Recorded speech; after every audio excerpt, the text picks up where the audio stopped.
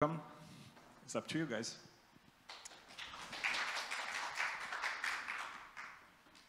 Hi, everybody. Uh, give me a second to get used to hearing my own voice. That always takes a while.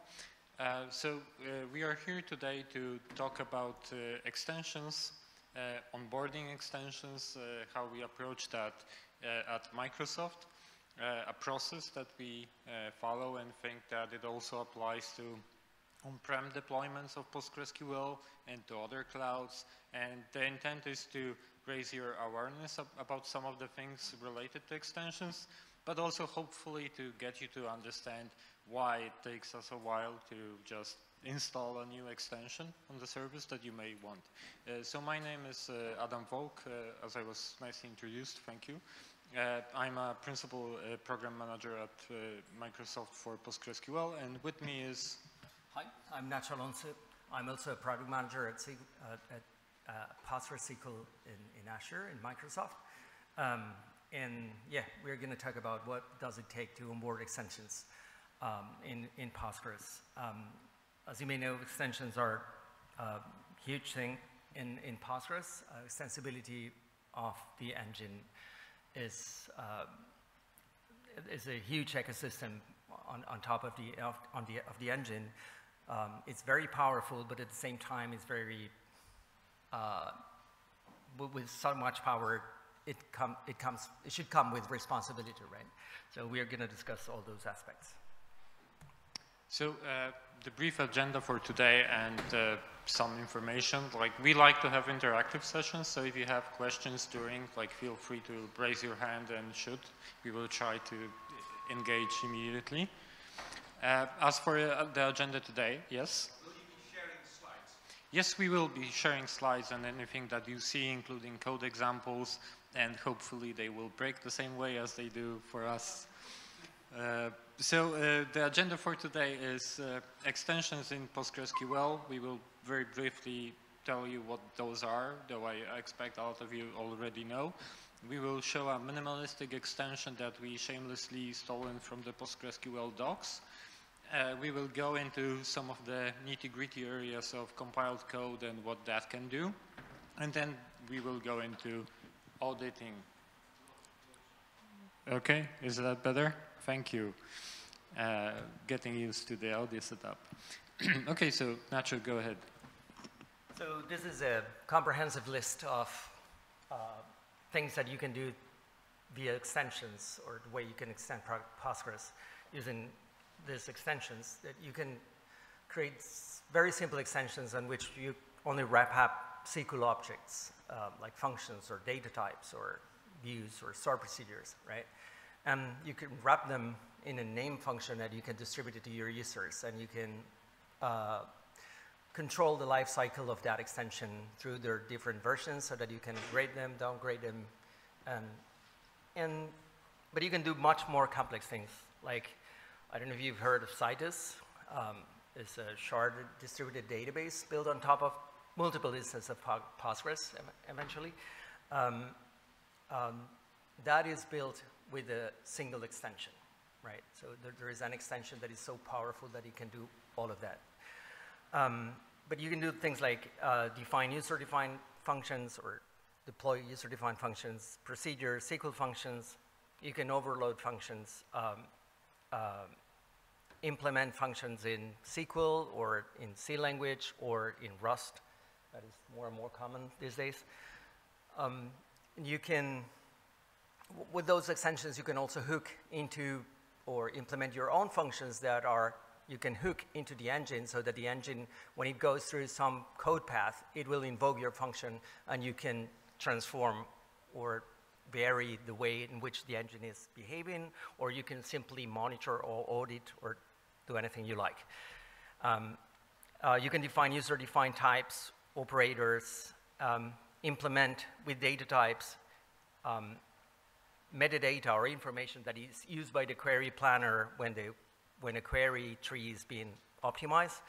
You can implement data structures as indexes um, and access methods to access those, those, those data structures. Um, so those are the index methods, or strategies, or support routines that are mentioned here.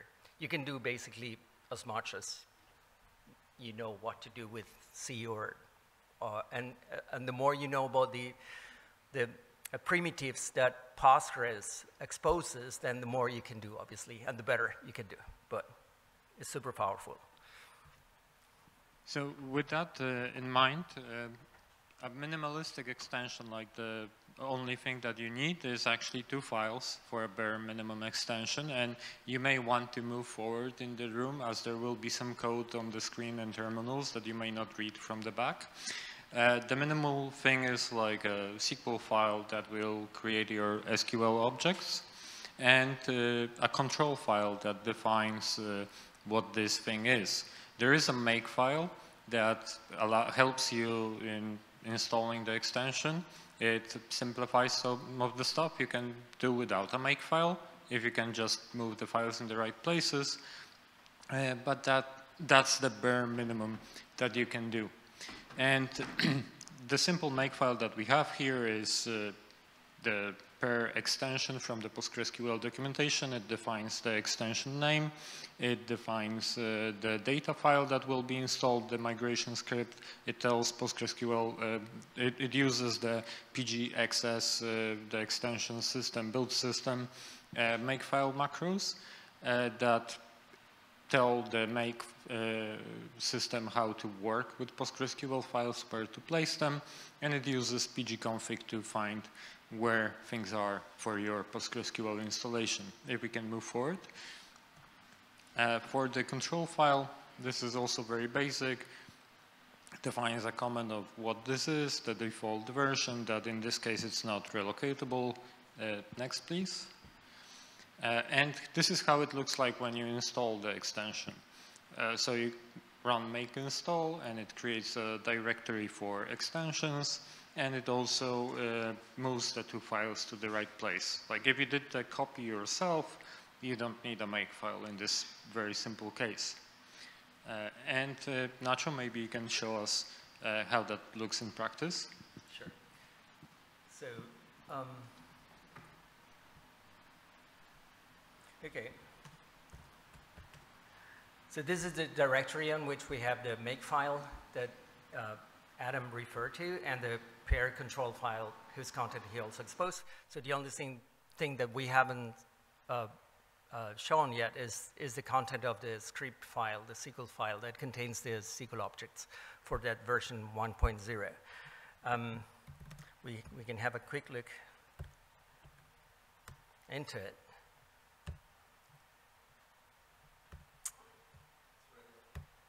Yeah. So um, so the first line is just a comment and a, like a safety line so that if you invoke this SQL script from PSQL, it will use those metadata commands to just prompt a, a message saying that you're not supposed to run it from PSQL, but rather through the create extension command. And, and then it quits SQL, uh, pSQL. And then the definition of the objects that it'll create, which is a data type called pair that uh, consists of, to construct a, uh, an instance of this data type, you need to pass a, a couple of text instances of text or a couple of strings named there as k and v uh, because it's a key value pair, right?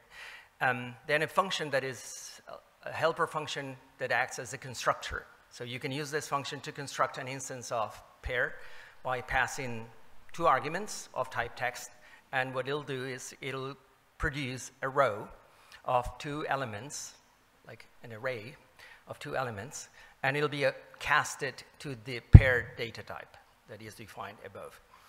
Uh, it also defines an operator that also allows you to, using two arguments, one, of the, one to the left and one to the right of that operator, you can instantiate or you can produce uh, uh, an instance of a pair uh, by means of invoking this pair function above. Right. Then, then two helper functions to interact or to transform uh, instances of pairs. Uh, one to lower the keys and the value, the key and the value of a pair, and one to concatenate two pairs. You pass it two pairs, and it produces a single pair where the key of the resulting pair is the concatenation of uh, the two keys from the input pairs, and the uh, resulting pairs value is the concatenation of the values from, from the two inputs. So, so can we install it and see how it works? Sure. I wish I could. Um, so um, we're going to use make, as Adam explained, right? And uh, with make alone, it would do nothing in this case because we don't have any source code to build, right? We, we have a very simple extension. We, we only want to install the SQL files, file in this case for now, and, and the control file, right? So for that, we do make install. And this is, um, as shown on the screen, is creating the directory where it'll produce, um, what, it, what it will put the resulting files of the compilation, um, not a compilation, is bringing those static files and copying them over to, to that, this directory. The location of this directory is being um, fetched from PGXS, which is Postgres extension system or build infrastructure that Postgres provides so that it facilitates uh, the, the building of, of extensions. And it's simply copying the pair control file into the directory where the engine will look for it, and also the SQL files in there. So with that, we have built the extension and installed the extension on a given instance of Postgres, on a given cluster. But we have not yet created the extension on any database in that cluster so that we can refer to the objects that were part of that SQL file. Okay, so can we create the extension and maybe uh, create a pair? Yeah. So this is the way you probably are familiar with the create extension statement. Uh, what this is doing is, um, uh, sorry. Um, Don't crash it yet. Nope. Okay. Um, we're going to be playing with a couple of extensions in this example, right? But for now, uh, this one, uh, I forgot to remove the files, the, the malextend. Uh, but what this function, this uh, function, the P, uh, sorry, view, PG available extensions does, is enumerates all the control files that are in a particular directory for this installation. And it produces rows with metadata that is found within those control files. So the name of the extension, the default version, and the comment. I don't know if you recall, but those were part of the control file. And the install version is not being picked from the control file, but it's being selected from the metadata that is created in the context of this database for um, once we created the, the extension in here, right? So with that, we have the extension um, created and then with this meta command in PSQL, we can check what objects this extension has created. Um, as you can see, that uh, uh, thankfully matches what, what was defined in the, in the SQL file. Uh, three functions, and one operator, and one type. Okay. Now, to your question, if I can create, how do I create an instance of a pair? Um, two ways. I can use the operator, the tilde greater than operator, passing two arguments as operands um, so that I can do like PG, a type of um, um, text. Uh, so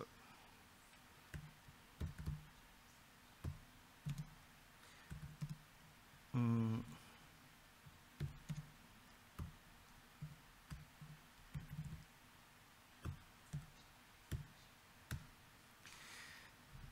So this operator is taking the two operands and is producing a pair. How do I know it is a pair? Because there is this other function, pg type of, which gives me the type of the resulting object. Now, if we want to see how it looks like, if we render it as text, there it is. That is the pair, key value pair. And can I also run lower on it? Sure. So we do have this lower function, right? whose logic will lower the text of the key, lower the text of the value, and produce a new instance where those two values are lowered. So, so Nacho, this is making me quite un uneasy. Like, it looks cool, but also uh, I don't see pair uh, mentioned anywhere here. So some code is being executed, creating a data type. I don't know what code that is. So how do you work with that? Yeah, good question.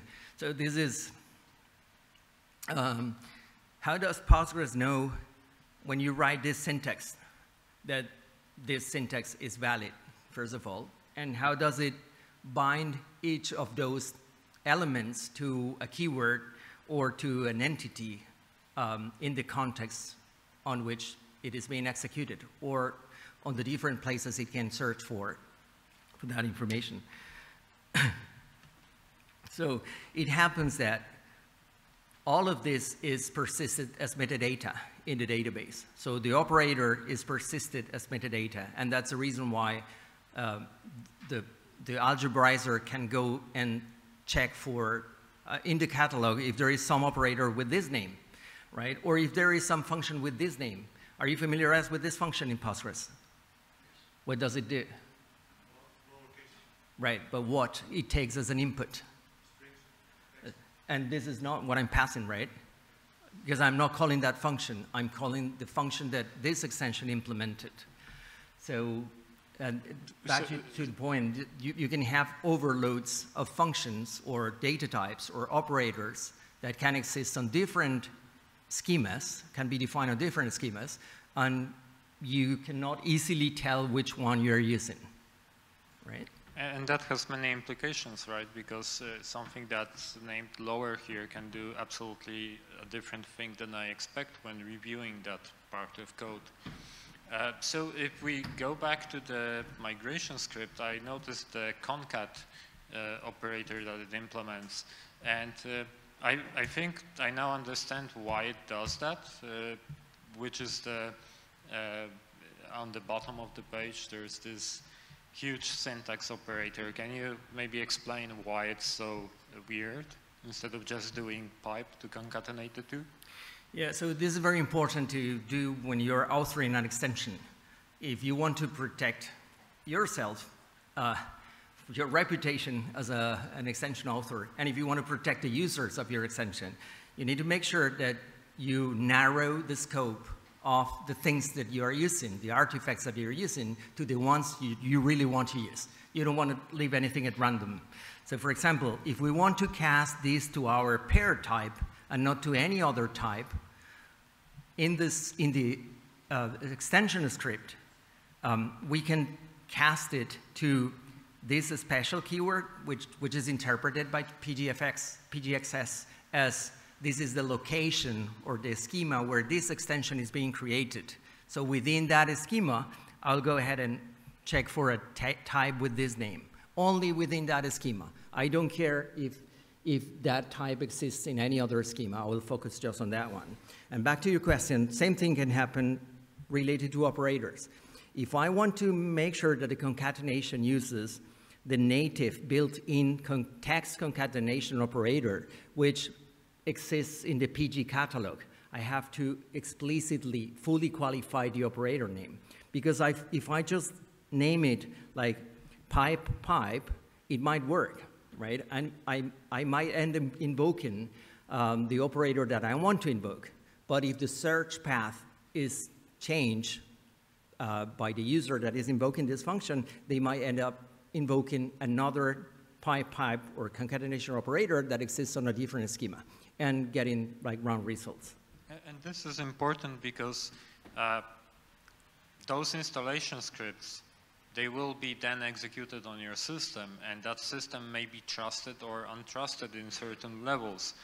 Uh, so for example, a malicious user may create a database object that overloads a function that could resolve to something that's not fully qualified in this installation script. And then when I'm installing my extension as a super user, I'm suddenly calling into a function or trigger or operator defined by somebody with lower privileges, escalating that uh, code execution. And for that reason, it's not simply taking an extension and putting it on the system and we are done. you should be looking at it holistically from the aspect of what does it do in those installation scripts and is it not is the author of the extension not malicious? That's usually the case.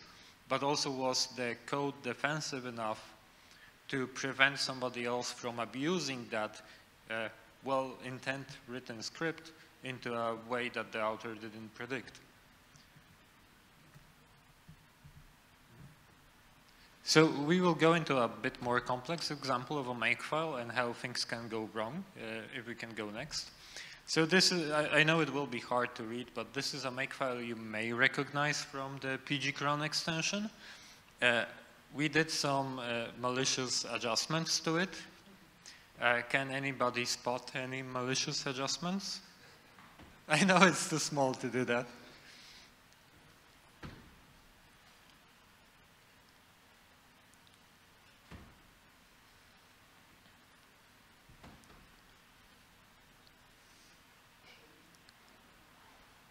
Okay, uh, next. So uh, this is how, it uh, how the installation of that extension looks. Can anybody spot something here?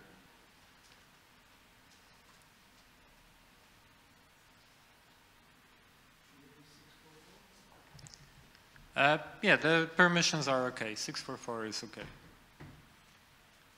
Yes? Very good. Like, uh, please approach us for a pair of socks at the Microsoft booth. uh, that, that's very good. Like, I actually didn't expect anybody to notice. Uh, can we go for it, Nacho? Uh, and forward. Uh, so yes, this is correct. It, it installs a pair SQL file. Uh, now, this is a very simple example. Usually you would have tons of output, and we could try to hide that in the output or even not produce that line in the output and you would probably not notice anything wrong. Uh, and this is the modification that we did uh, in the makefile uh, itself. Uh, so Nacho, do you want to go over it? Yeah, so, so basically during the make install process here, um, this file, in order to produce this file, it's getting the file called malextend.sql content and it's dumping it into malextend dash dash 1.0.sql, right? But not only that, it's also executing this line so that the same content is being copied over to another file called pair dash dash 1.0.sql. So the reason why we scatter the changes throughout the files was to make it more difficult to, to spot them. Uh, but, and you can even make it way more difficult to, to, to spot them. Um, so uh, can you guess what is the problem that this can cause? Because we're, now we are talking about a different extension. This is malextend extension. It's not pair extension, right? But this extension is producing and is installing a, a file called pair dash dash 1.0.sql. Does it remind you to? Yeah. Correct. It, it, it can overwrite the file that was produced by the other extension right? It actually will because it, it'll have the permissions to do that. So, so to make that more visible, we modified the installation script of this extension and what it uh, replaces with this uh, race, soy, I'm bad uh, exception. Uh, so that we see when we try to create the extension what is actually being executed.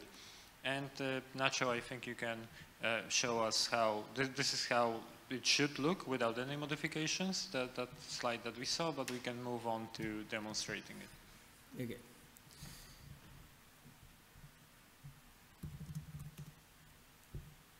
Yeah.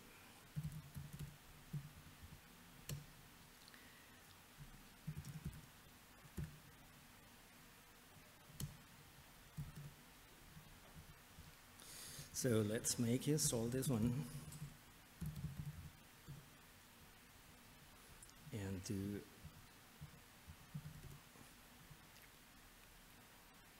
is one with binary. No, it installed. It's just harder to see because there's more output. Last line, you see? Yeah, yeah.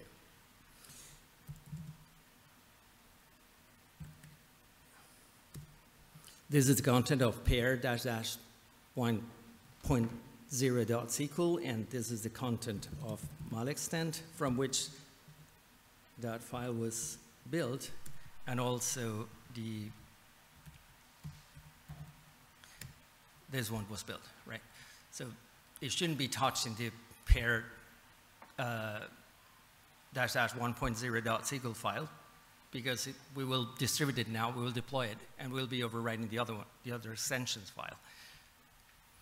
Can you guess what can happen now? Once this other extension has been installed and it has deployed that other SQL file that matches the name of the other extension file and has been overridden. Will the other extension fail now somehow? Or it won't? Or when would it fail? When would it cause a problem? Only if you have both extensions at the same time, because then you don't have collision between the name, right? But otherwise.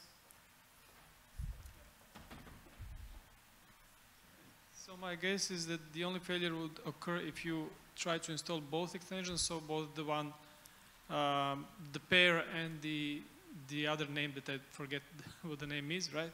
But if you try to install basically the new one, it will behave like you just have the pair. If you try to install pair, it will only behave like it has pair, right? Okay, but pair extension is already installed in the Postgres database. I have not uninstalled it. I have not dropped it yet. Yeah, so basically for new sessions, it will, I guess for new sessions in the Postgres, it will raise extension, but for the old sessions, it will still work because it's in memory for them, isn't it? Uh, there is no binary here for now. So th Yeah, this is pure. SQL object. So the, the, the, the trick here was in the SQL script. When is the SQL script executed? Just create. When you run create extension, right? So only when you create extension that the content of that file will be executed. Because it, unless we drop it and recreate it, we won't see it, right? But if, but we'll do that. We'll drop extension. And we'll create it again. It was working before, and it isn't now. We didn't rebuild the extension. We built another one, but it happened that that one was overwriting this file, so. So, so the lesson, uh, the lesson from this is that you should, uh, first of all, don't build, install extensions on production. I hope nobody does that. Uh, but you have to assume that you know the code that's being executed during the build, it can do anything that you can do.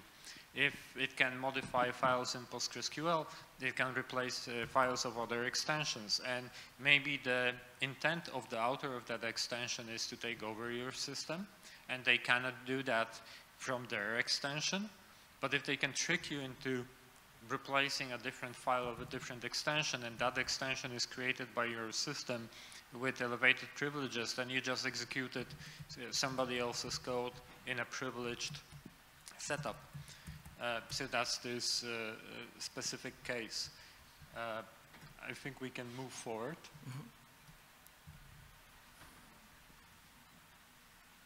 Uh, next. Uh, so we saw the consequences of that. So how can the makefiles hurt you? Like the makefiles can steal the secrets from your, your build host. Anything that you store there, maybe access to your build system, so to your staging environments. It can replace the files on, on the target install, uh, including PostgreSQL configuration files, not only extension files. There is no mechanism preventing that if you're not looking for that yourself. And it can do code execution during build, like uh, placing in backdoors, exfiltrating data, overriding, changing files outside of the build directory. It can mine Bitcoin on your systems if it wants to, uh, if you're not checking for that. Can we go next? If I were you, I would be worried because there's a makefile coming through the door now. Okay, so control files. Uh, control files uh, themselves, they feel safe uh, because it's just a key value pair of uh, this is this and this is the value for that. Uh, so here's a comment defined, a default value, trusted equals true, relocatable, there's nothing wrong here, right? Well, if we move forward, there's this trusted true. So can I trust this? Uh, hell no. Like th this shouldn't be trusted. Like who decided that it's trusted? That's the question you should ask. And if you look at PostgreSQL documentation, uh, slide forward, please. There's this documentation on trusted parameter that this generally should not be set to true for extensions that could allow access to otherwise super user-only abilities, such as uh, file system access, uh, and also marking extension trusted requires significant extra effort. Next slide. Uh, next slide, please. Uh, therefore, a trusted extension is extremely exposed from a security standpoint, and all its scripts commands must be carefully examined to ensure that no compromise is possible. Because what trusted does in PostgreSQL, it says that somebody vouches that this is so trusted that a non-trusted user can create this. Because this will, will execute all of the stuff in a trusted uh, in, a, in a trusted setup. So unless you actually verified that you can trust that this does nothing wrong and doesn't expose anything that somebody can abuse, this trusted variable should never, never be set to true. So don't assume that something says trusted, it's, it's trusted. Uh, next, please. And same for like super user, this big caution is taken directly from documentation. Uh, when you're installing extensions, you have to assume that you trust the extension author to the level that you trust them to do anything on your database. Extensions can do anything that PostgreSQL can do. They can write files, read files, modify data. So when you're installing an extension, you're ceding that power to the extension author in an indirect way, so you have to verify what you're installing. Uh, next, please. So uh, here be dragons, we go to the uh, compiled code and what compiled code can do. So this is a very simple C code um, example of an extension. You don't need to know C. What you need to know is this defines this amazing function, crashmydb. Uh, and what it does is, in this version that stopped working right before the stock, so we had to came up with new, it was writing twice the amount of memory it should be into the parameter that we provided to, hoping that it will overwrite random memory and cause problems. Uh, so let's move forward. And it stopped working, he means that it, it, it didn't crash. It was overwriting memory, but, but if it didn't overwrite memory to the point that it, it crashed, uh, yeah. crashed this, the, the process because of a segfault or an access violation, then you wouldn't notice until maybe much later, right? Because you could be corrupting any data structure in memory. So if we look at this, uh, this is a crash, and let's see the bigger version of this. Yep, the, the, the left-hand side is the output from the PSQL that was executing the function, the crash my DB function, and the right-hand side is the output of the server log after the segfault, fault occurred. So this is magnified. Yeah, so here we call crash my DB hello, and we see that the connection has closed. Uh, so what happens is PostgreSQL noticed that, well, there's a segfault of one of the connected processes. In PostgreSQL, every connected client has shared memory. So if there's shared memory working on shared buffers, that's our database data. So we have potentially data corruption. So the safest thing to do is uh, shut down and reboot into recovery mode because we are potentially corrupting data. Uh, so this is what happened. It terminated, it restarted, it started recovery, uh, and it actually has a problem in recovery because we happened to overwrite the WAL uh, in our random writing of memory. Fortunately, there were no transactions, so it recovered uh, without any data loss because we were not writing any data. But you can see like it's a crash. And that's a happy path. Like it's, we, we were super lucky that it crashed because it ha could have been overwriting like one byte or two bytes of memory for months. And there would be silent data corruption creeping in into the data and being persisted into WALs until it's too late and we have actual data loss. Uh, let's move forward and let's uh, try to crash it. Maybe in the interest of time we can continue and we leave the demo for the end. Okay, let's leave the demo for the end. Uh, so what can uh, the C code do essentially. The C code can do anything that PostgreSQL can do. It can write memory, read memory, any memory, including all the production data that you loaded into your database that may be hidden behind permissions and access models. It can just read memory. It doesn't care what you say or who you say can read that data. Uh, it can use the network, it can write read disk uh, files, it can register hooks, callbacks. Nacho, do you want to take that? Oh yeah, yeah. I briefly mentioned that at the beginning. That are certain hooks that you can, that the Postgres can call you if you implement them and have registered them. Um, like at points when Postgres is going to emit an error, before the error is emitted, it'll check if somebody registered a, a callback function or a hook uh, to be called before it goes through the natural standard path. Or when it's uh, analyzing, parsing uh, the text of your query, it can call your hook.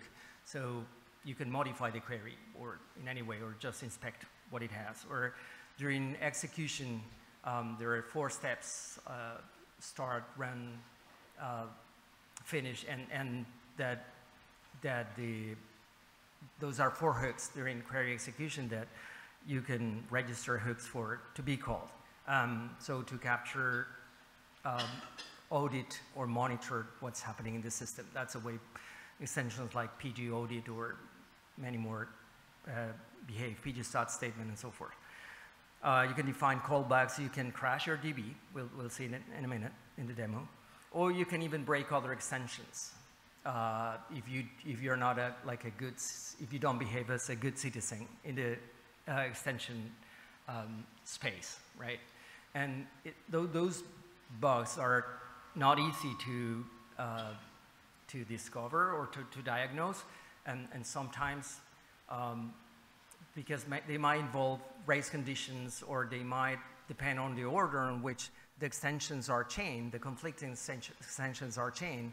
Um, so um, it, it's not easy to, to, to debug, but you can do as much as you can do in C code running inside the uh, address space of the, any of the backend processes of Postgres, including Postmaster, and with the power that you have under the identity with which that service is running, all those processes are running. Okay, so uh, to not discourage you from using extensions and to not leave you empty-handed, uh, some uh, we've been doing some of those things like going through those extensions and discussing it, but this is roughly the process that we follow if we can go forward. So you should start by something that wasn't touched on here, which is reviewing the licensing, including all the dependencies and dependencies of those dependencies.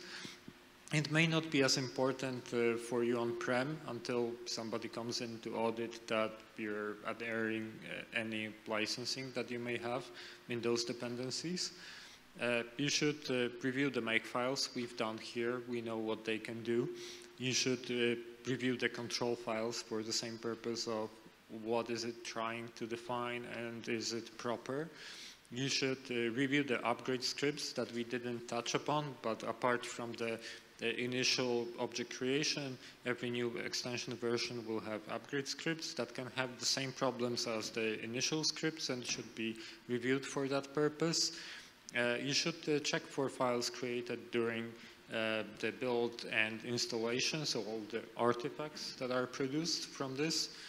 The object files created, as Nacho showed with the backslash dx uh, psql command, you can review what an extension actually creates.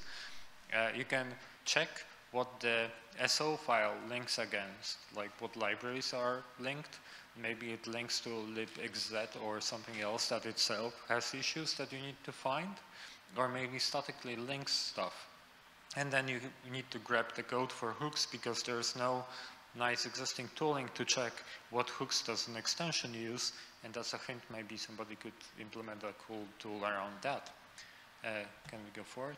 And this is actually uh, an example I ran uh, yesterday or the day before on the PG Parquet extension developed by Crunchy Data, uh, the license check because I wanted to like take a look, uh, they've written it in Rust, which is very easy to, ch to check. There's this cargo license command. There's over 300 dependencies in this project. Uh, and there's like this uh, custom license for something called ring. I didn't know what ring is. I checked it. Looks like a boring SSL wrapper. So it has a mixed licensing case to review. But that's an SSL library. I looked if it links against uh, OpenSSL or Boring SSL. It doesn't. So that means it statically compiles that. So what are the consequences for me if I wanted this on Azure? Well, what happens if Boring SSL has a security issue? How do I find out about it? What do I have to do then? Uh, well, I need to recompile the extension because it's statically linked. It doesn't, uh, I, I, cannot just replace it on the operating system. And then, uh, even when I uh, do that, like how do I get that deployed? How does that look like? What are the other issues that this may cause? So uh, that's some of the, oh, and another one is uh, like if I'm deploying to a FIPS-enabled system, uh, FIPS has requirements of what crypto libraries can be used.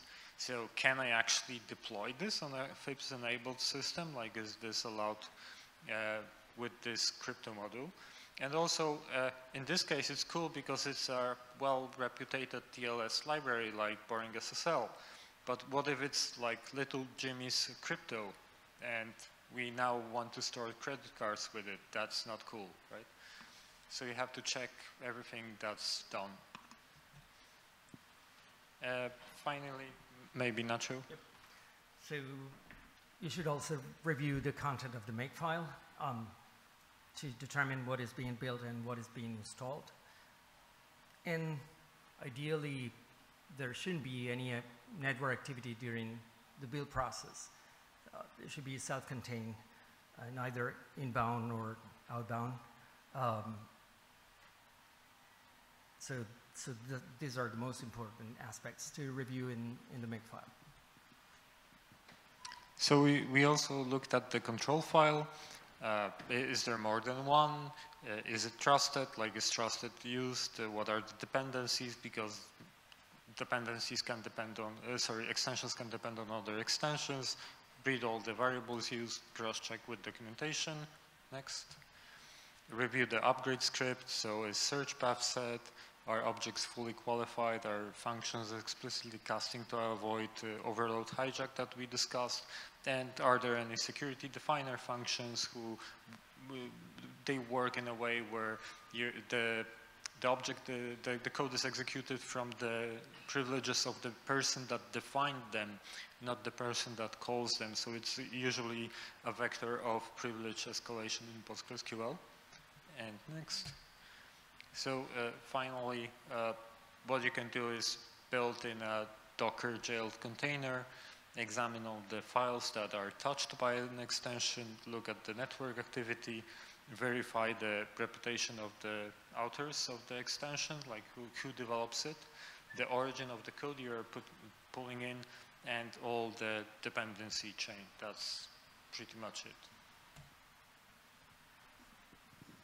Uh, and if you uh, want, like, if you like PostgreSQL, we actually have a, a, podcast on PostgreSQL that you might want to listen to, talking Postgres. And there's also a conference that we're going with in the, into the fourth year, uh, POSETTE, if you can sw swap the slide, Nacho, to the next I one. I see some speakers here in the room.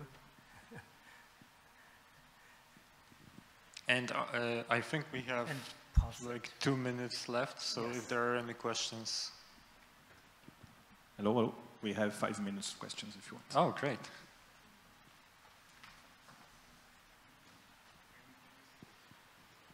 I just wanted to ask, uh, is, is, any, is any work done on the central registry of the Postgres extensions, or that's impossible?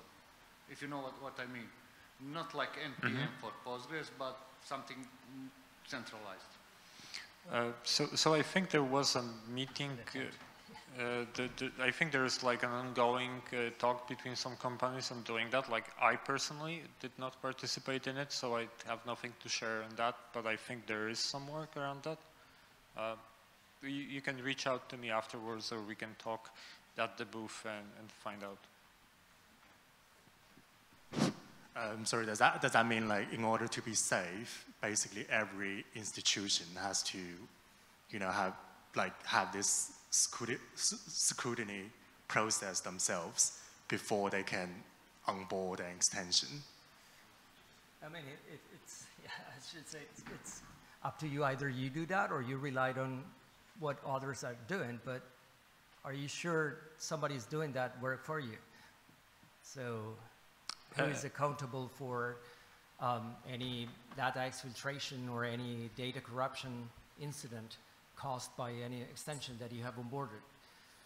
Uh, that, that's a risky part. So it, it takes time and very specialized resources that you know about security and, and um, uh, development and, and Postgres engine to validate the extensions. But unless there is like a committee that, uh, open committee that certifies the extensions, then you have to rely on many people. I've seen many people. I- I'm kind of new to Postgres, like been six six months or something into Postgres, and I've seen many people using picking extensions from open source repositories and onboarding them into their on-prem installations without paying attention, just because functionally they provide the, the functionality that they require. Uh, and also, it's not always malicious intent. Like uh, there, there may be well-intended extensions that happen to just break with each other, and you will find out in production with data corruption, for example. Questions?